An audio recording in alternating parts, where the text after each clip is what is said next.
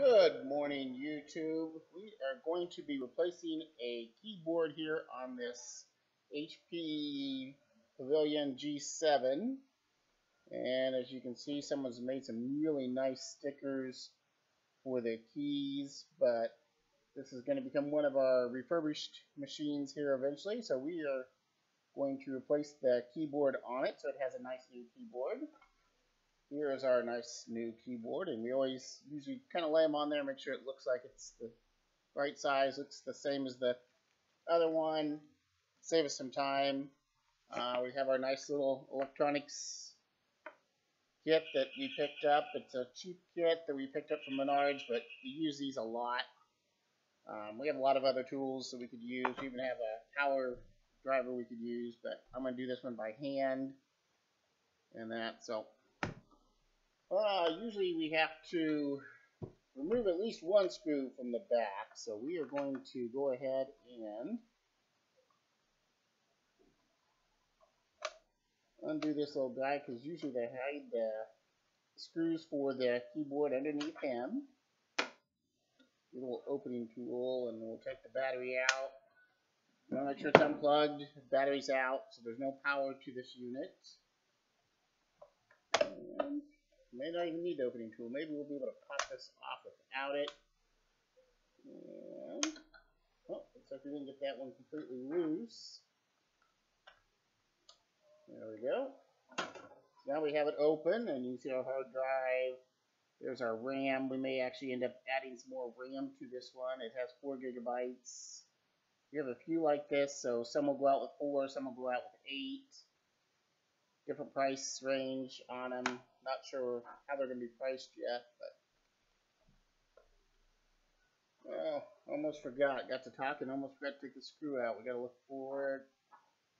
Um, I'm sure there's one in here. Let's spin this around and look, and there it is. So, right here, you're going to see the screw for the keyboard.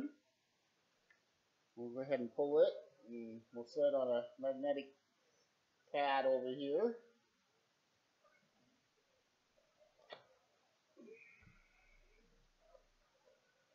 Now, our keyboard should be able to just pop right up out. There's usually some clips in here. Opening tools are great little things for doing that. Uh, sometimes you can even see the clips here.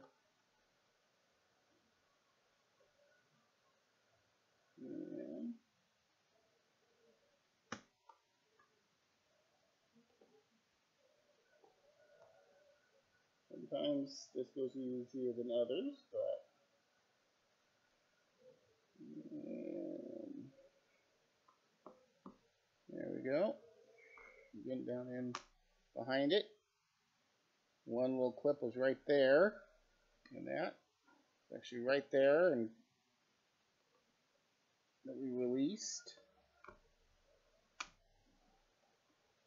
You can even use a plastic pick. That's sometimes better so you don't scar the plastic around it. And see if we can get the next one to come free. A lot of times they're easier than this, but this one's definitely wanting to put up a fight.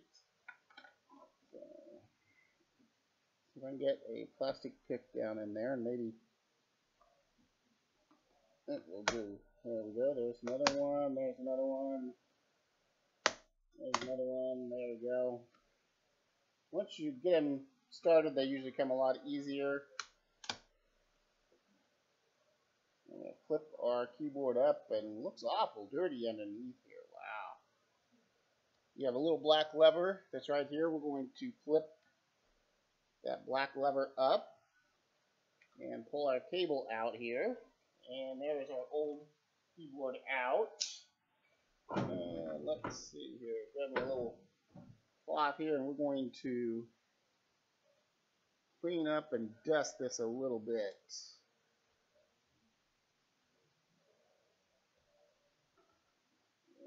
Let's see if we can get some of this stuff out and cleaned up since we won't need to be down in here again.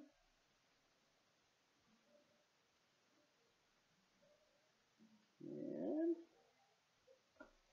I'll take out our new keyboard here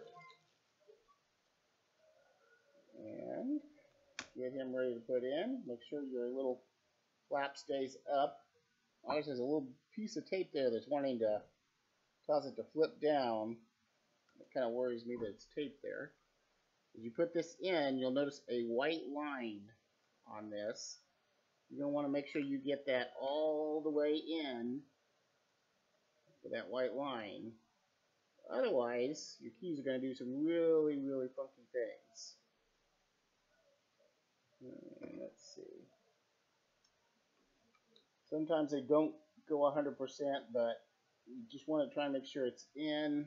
This one here, the white line is just barely at the end of that black thing, so I'm going to think that's probably good enough. And push it down into place. You'll hear it snap in there. Nice new looking one. Now we are going to test this here real quick to make sure that the keyboard works before we put it back together. If I can find, we'll plug it in. We will power this on. Need a lot of cleanup on this little guy. Moving into Windows 10, which we installed a fresh copy of Windows 10 on him. And it's been activated.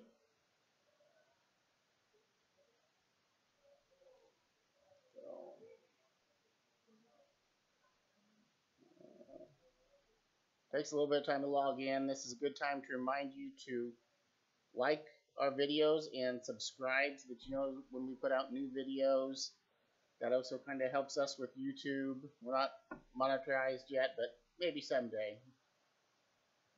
And that's all. In an older laptop, again with only 4 gigabytes, takes a little bit of time to log in, but it's not bad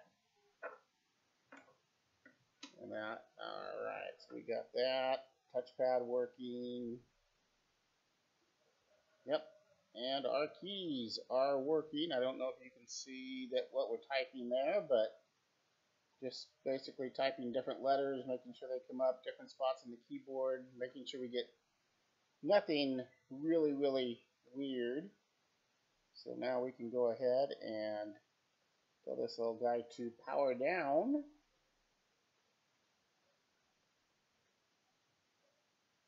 and we can complete our repair. It's always good to check and make sure it works before you actually finish your repair. And we'll have them plug it, flip it back over, and as you notice, we keep a towel or cloth or something here so as to not scuff the top of the laptop.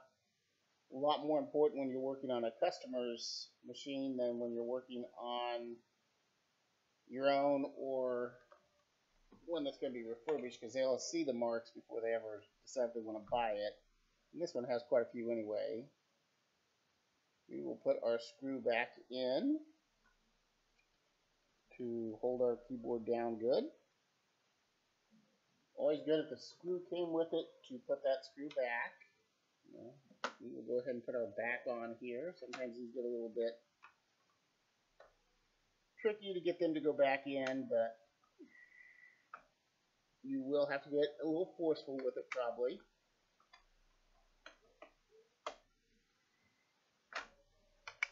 That's just the way these guys get. And sometimes they go in easier than other times, and just never really seems to go the same every time. And of course, when we do a video, they always decide to really go and show how tough they can be to put back in.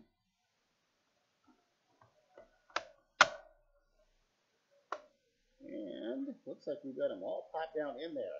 Sometimes you can use this opening tool here and put right where the clip is and use that to help slide them down in there. So we will go ahead and screw down our plate here again. You always want to go around and make sure that it's all stamped down so it sits nice and flat when you're done. You'll hear some more pops and cracks as all those little clips get down where they belong. And that is replacing a keyboard on an HP Pavilion G7. Thank you, and again, subscribe and like our videos.